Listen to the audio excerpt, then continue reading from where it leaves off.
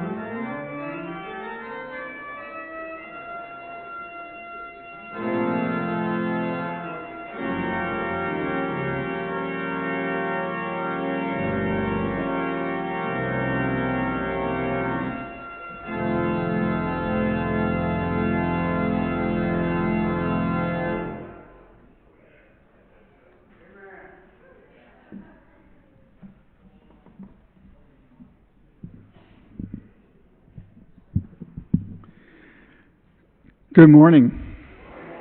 In the name of Jesus Christ, welcome to worship this morning. Whether you are here in person or watching online, it is my hope and prayer that you be stirred by the Holy Spirit today and reminded that God loves you and is with you wherever you are. Here are the announcements for the week. And first of all, I want to share that the church conference that we had last week approved the proposal to purchase a new parsonage and to sell the old parsonage. I'm grateful to, to Dan Kirtley, Chair of Trustees, uh, John and Carol Blake, and Terry Cook for their help and their expertise in, in doing all the legwork uh, to bring this about.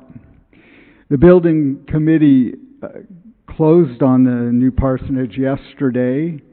So the new parsonage is, is in our possession, and we've already had at least one inquiry on the sale of the old parsonage. Uh, we thank this team for their diligence in taking care of this action and preparing for the future. Oh, we've had two, I guess, inquiries about the old parsonage. Uh, today at First Congregational Church at 2 p.m., there will be a celebration of Black History Month, and all are welcome. The ladies' Bible study will meet Tuesday at 9:30 a.m. in Price Lounge. Uh, the church administrative board will meet this Wednesday, February 23rd at 6 p.m. in Price Lounge. The Potter's Men group, men's group will be meeting this Thursday at 6 p.m. in Jonah Room, and all men are welcome and encouraged to come. If you have questions, I think you you can contact Jay, uh, who's kind of filling in right now for John for Don Hendrick. There will be a community prayer meeting at Encounter Church, 130 East McClure Street, this Saturday at 2 p.m. The UMW is sponsoring Treasures from Grandma's Attic on April 2nd in Fellowship Hall from 9:30 a.m. to, to 2 p.m. And the congregation is asked to donate gently used items that you're no longer using, but not clothing.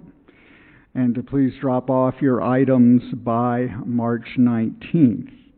Uh, the UMW will be holding a meeting this Thursday, February 24th at 10 a.m. to organize the volunteers for Grandma's Attic. The children's story of Easter drive through will be held here again this year on Saturday, April 9th from 9 a.m. to noon.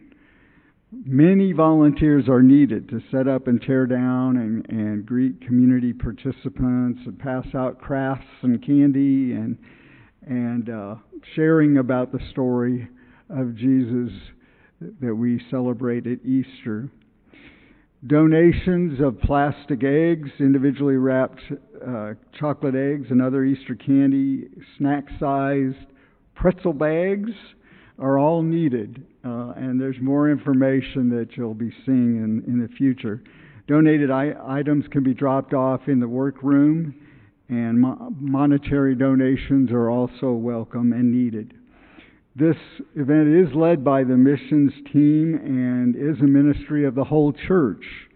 So we do hope that the whole congregation will get involved in one way or another. Um, the missions team will have a meeting this Tuesday at 10 a.m. in Jonah Room to further organize this event. And a meeting for all, excuse me, all volunteers is scheduled uh, for March 8th at 6 p.m. to pull it all together. Um, and you can refer to your bulletin for any other announcements. I just have one that came in this morning a man by the name of John came in, and he's kind of in a in short, you know, very quick turnaround need of help. Um, his he's moving in his mother, uh, who's in her 70s uh, in not good health, uh, moving it, her into one of the Prairie Green apartments that I understand is right across from where Copelands live. And uh, he, some of his movers that were going to help unload a U-Haul have uh, have not are not now available, and so he is coming in, uh, hoping there might be someone here that might be able to help. Um, I do have a phone number if you want to ask me about that after the service. Uh, if you think you could run over, they were actually going to start moving about right now. Uh, and he still has a couple people, but he but he knows it's just going to take all day if he doesn't get some other people to help. So, if you think you might be willing to do that, or you know someone who would, uh, please uh, get in touch with with me right after the service. So let us now focus on God and pause and take a breath and listen for what God has to say to us today as we worship. Please stand as you are able for our call to worship.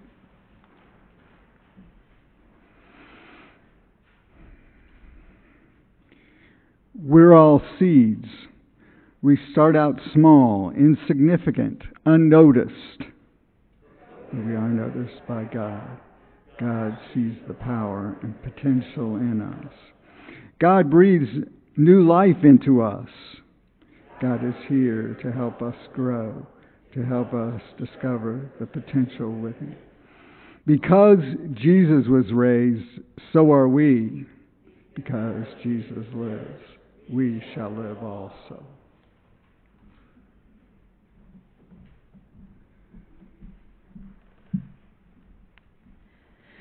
Please remain standing for the opening hymn, number 57, Oh for a Thousand Tongues to Sing. We'll be singing verses 1 through 5 and 7.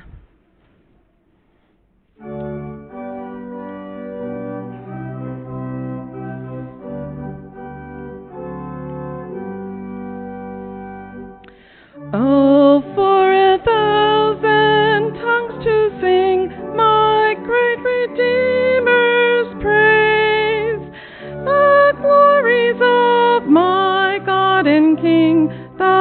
the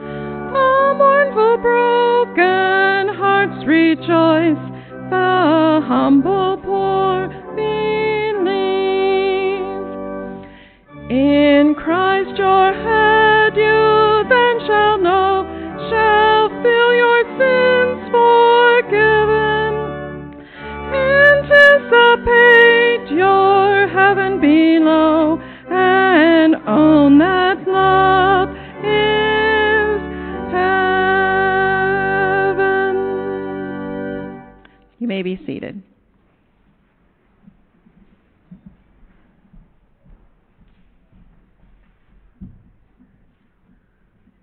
Let us go to the Lord in prayer. Almighty God, to whom our hearts are open, our desires are known, and from whom no secrets are hidden. Cleanse the thoughts of our hearts, Lord, by the gracious power of your Holy Spirit, that we may perfectly love you and worthily magnify your holy name. We ask this in Christ our Lord name.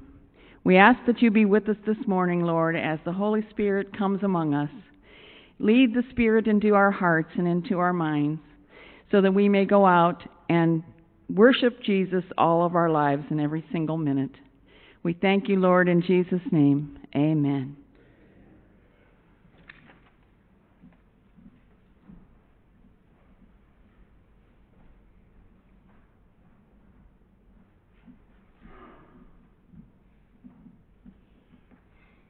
Morning. This morning's scripture reading is from 1 Corinthians chapter 15, verses 35 through 38, and then continues with 42 through 44. Uh, Paul sharing with the residents of Corinth the, the resurrection body. But some will ask, How are the dead raised? With what kind of body do they come? Fool, what you sow does not come to life unless it dies. And as for what you sow, you do not sow the body that is to be, but a bare seed, perhaps of wheat or some other grain. But God gives it a body as He has chosen, and to each kind of seed its own body. So it is with the resurrection of the dead. What is sown is perishable, what is raised is imperishable. It is sown in dishonor, it is raised in glory. It is sown in weakness, it is raised in power. It is sown a physical body, but is raised a spiritual body. If there is a spirit, if there is a physical body, there is also a spiritual body. This is the word of God for the people of God.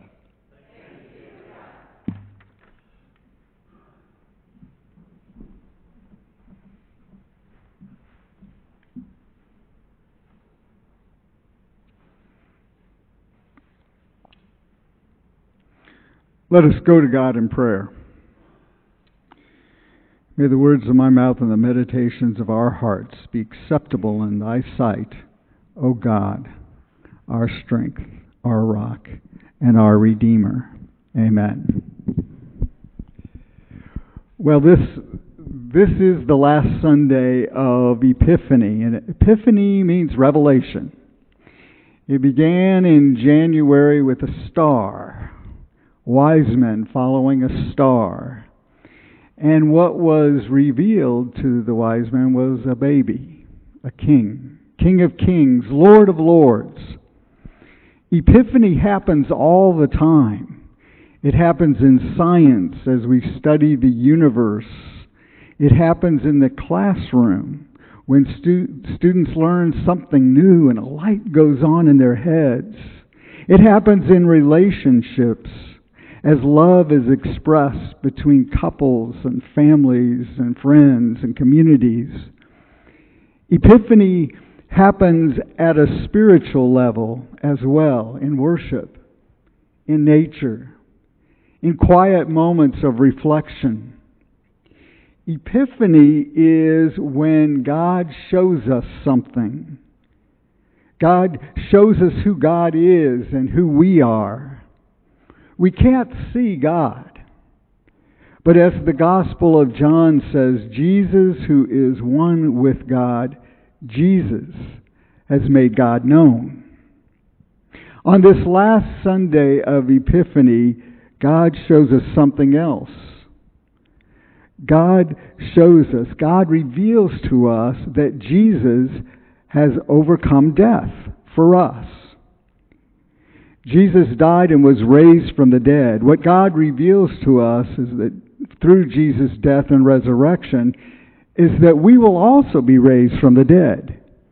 Yes, like Jesus, we will one day die.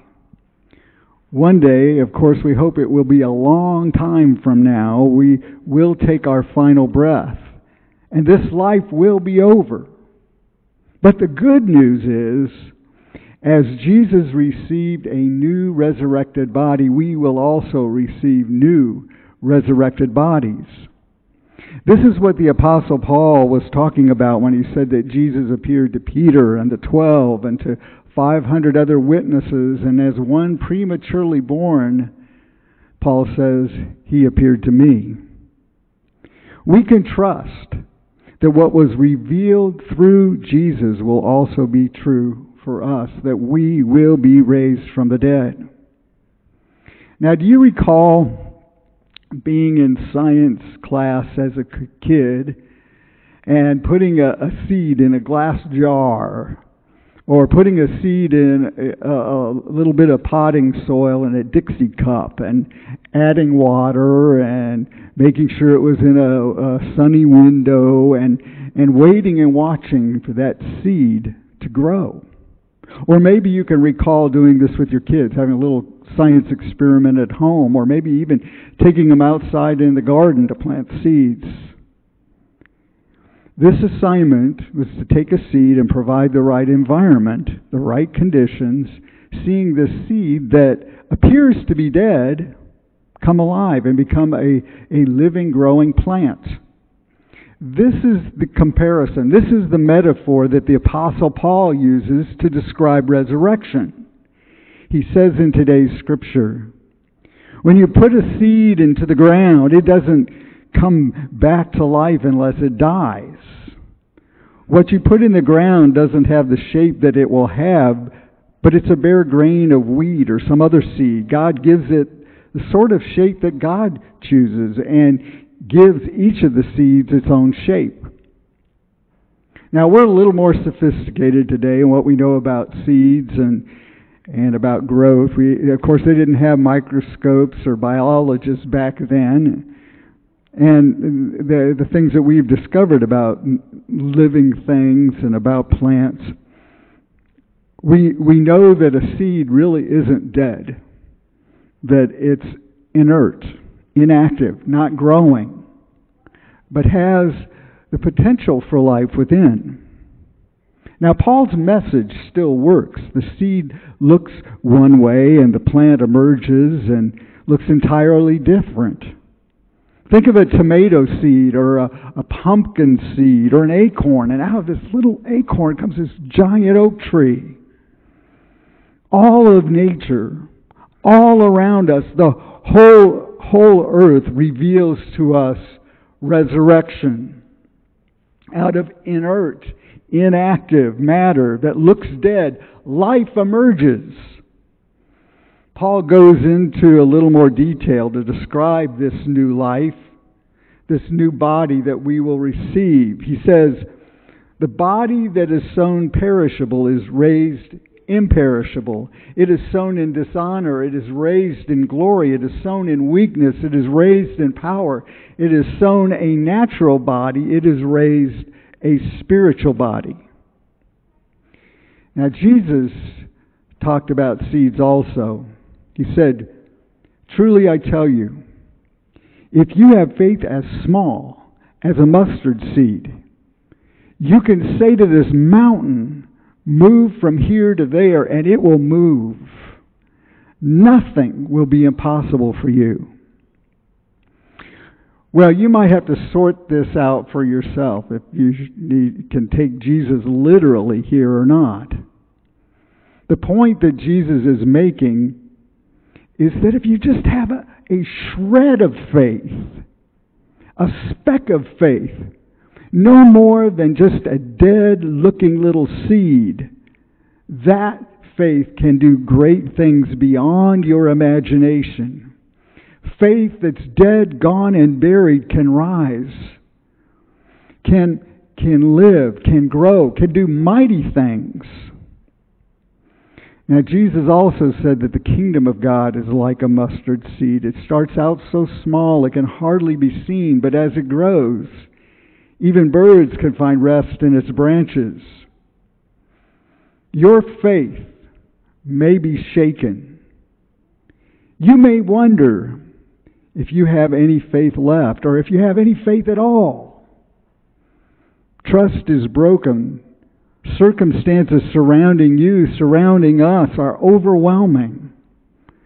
The kingdom of God seems to be a far cry from where we are now. But there's faith. Small faith and big faith, dead faith and alive faith right here in God's beloved children. Still here in each other, in your friends, in, in your church family still here in us. A faith that will, will grow, will overcome doubt, will heal all hurt, that will restore trust. What is dead and gone and buried will rise, will grow, can move any mountain, can overcome any challenge, and Jesus is right here to make it happen. Jesus has endured it all. the breaking of trust, deceit, betrayal, desertion, abandonments, injustice, suffering, and death. He reveals to us through His resurrection what we can't see yet. That our church can rise from death to life, and we will rise from death to life one day. If you hadn't noticed, Paul uses metaphors, and, and, and so did Jesus, by the way, to explain spiritual mysteries. They use the things that we know and can see those things explain the things that we can't see seeds, plants, sheep, goats, water, bread, the basics of life. They use these to describe the life of faith. Now, Paul uses another metaphor to describe the change that took place in his life. It comes from the sacrament of baptism. In baptism, our sins are washed away. When we go under the water, whether we are totally immersed or we're under the water that is poured or sprinkled upon us, whatever method is used, it is a metaphor for passing from death to new life.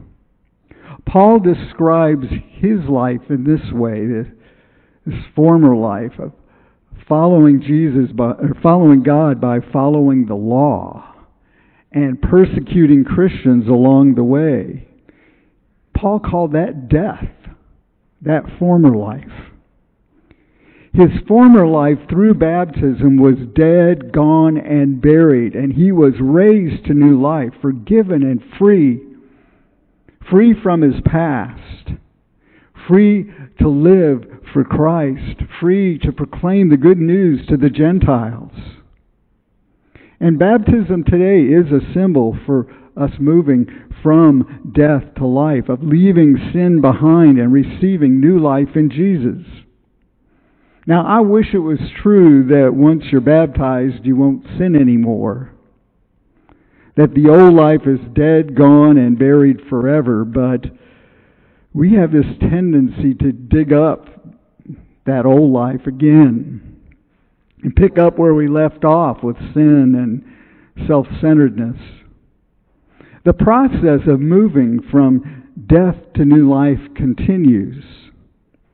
Like the seed planted in the ground that sprouts and becomes a living plant and it yields precious fruit and vegetables and grain. And then the plant dies, leaving its seeds behind. And the whole process begins again. We baptize babies and children and youth and adults, all ages, knowing that baptism will not prevent any of them from sinning, from doing wrong, from harming others or harming themselves. When you are baptized, we celebrate that all sin is forgiven, past, present, and future. None of it's left out. You are redeemed for life. Through the power of the Holy Spirit, God is working in us, making us aware of sin and self centeredness that we've allowed to sneak back into our lives. God is here and frequently comes to us in friends who speak the truth in love to help us come to our senses and, and help us to, to realize that our lives are not where they need to be and that God is here to help us bury the burden of sin that we carry and move on. With the breath of God, the, the living water continuing to wash us clean and putting us on the right path, moving us from death to life once again. The good news is, not one of us is hopelessly lost. According to Jesus, forgiveness does not run out. And if your faith has been reduced to just a speck, no more than just a dried up, dead, tiny little seed, that's all it takes to be redeemed. There was a movie that came out a couple of decades ago. Hard to believe it is, that it's been out that long, and it's a family favorite of ours called Princess Bride. The hero Westley is tortured to death. The life is drained out of him. His companions take his body to Miracle Max to see if anything can be done, if Max can perform a miracle. Max takes one look at Westley and tells his friends that it turns out that he is not dead. He is mostly dead, which means he's slightly alive. Max says if he's all dead, there's only one thing you can do go through his clothes for loose change. But slightly dead is a whole other matter. And so Max says to Westley, What's so important? What you got here that's worth living for?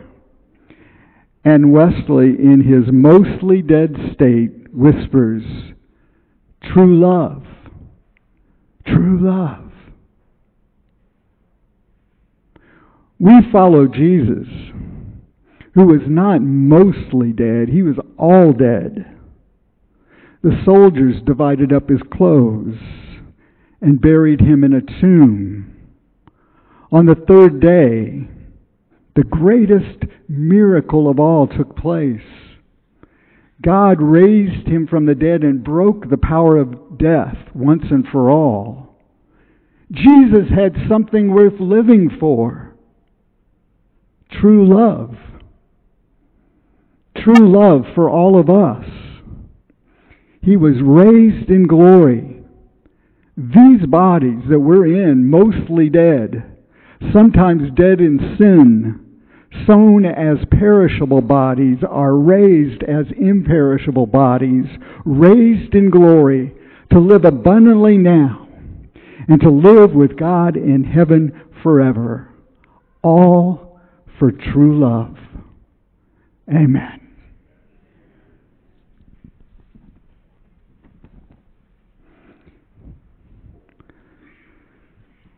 Let us join together in praying the offertory prayer. Let us pray. Holy God of light and life that overcomes darkness and death, we offer our gifts to you this morning as we offer our lives to serve in your name. We respond in faith to the promise of resurrection. May we live our days giving freely with love and grace because we trust you that we will be raised with Christ and live with you forever. In Christ we pray. Amen.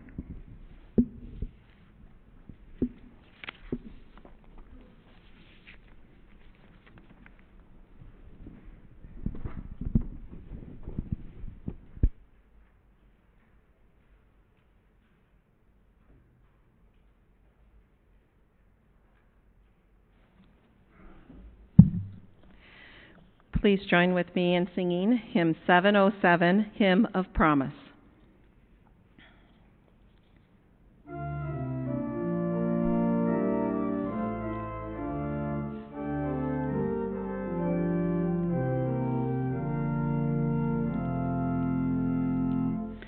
In the bulb there is a flower, in the seed an apple tree, in cocoons a hidden promise, butterflies will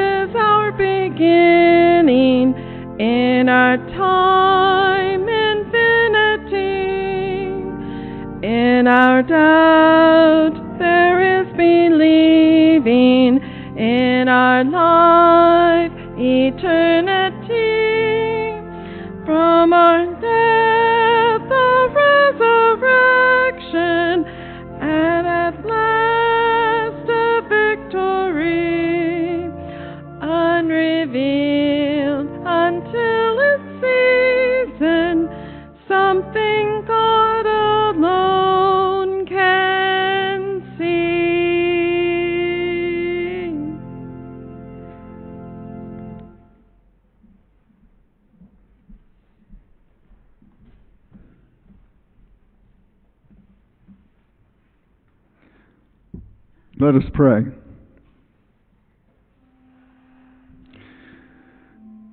Oh, gracious God, you've done it all for us. You've given us the gift of life.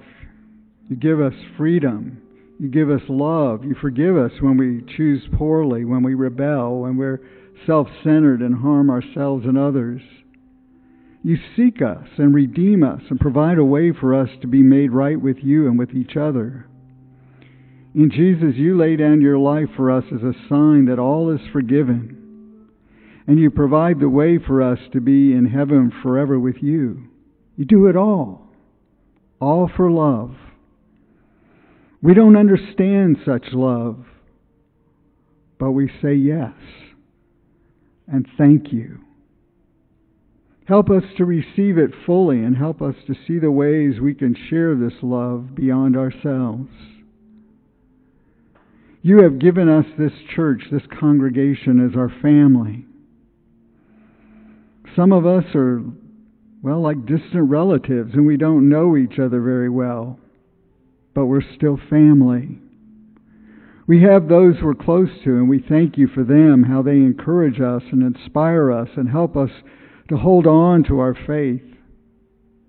We thank you for the wonderful memories we have here with, with family, with our children, grandchildren, great grandchildren, for baptisms and weddings and Christmas Eve services and Easters, and yes, even funerals where our hearts have been touched.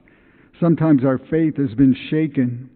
But you've been here with us to remind us that love endures all things, and you remain steadfast, and you are with us to help us to hold on to faith and to hold on to one another. We thank you that when some among us have weak faith, others among us have faith that's strong.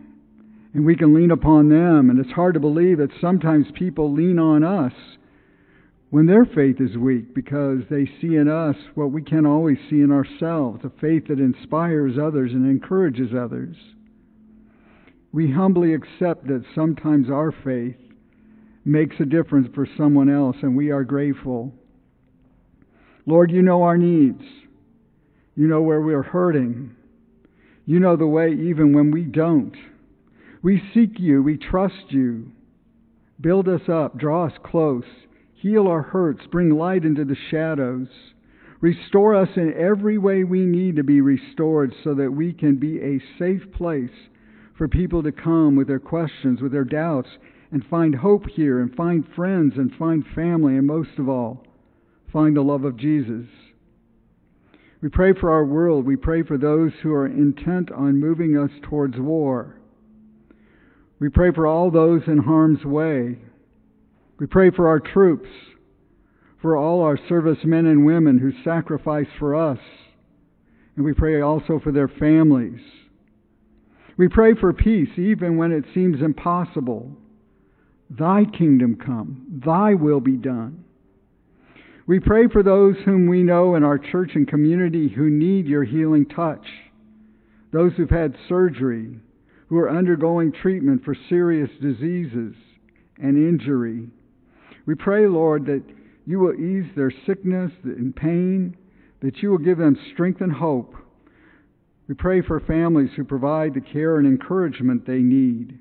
Help them to stay strong and lean on you all these prayers and the prayers on our hearts we lift up to you in the name of Christ Jesus, our Lord and Savior, who teaches us to pray, saying, Our Father, who art in heaven, hallowed be thy name.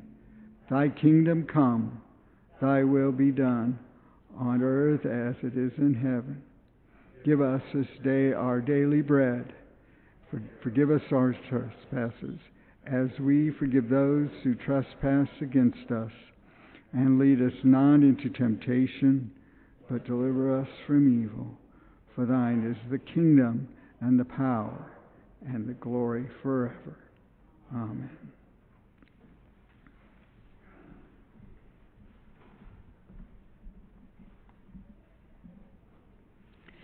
Please rise as you are able and let us sing together the closing hymn 364 Because He Lives.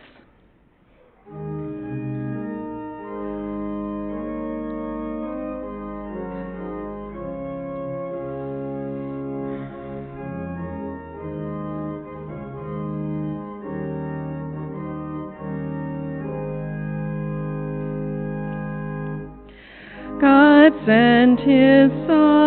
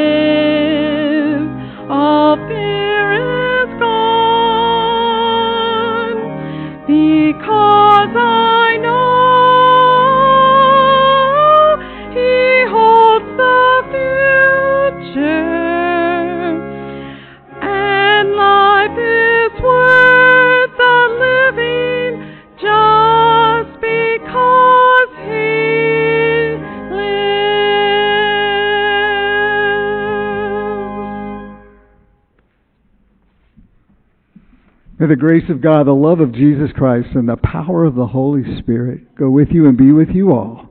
Amen.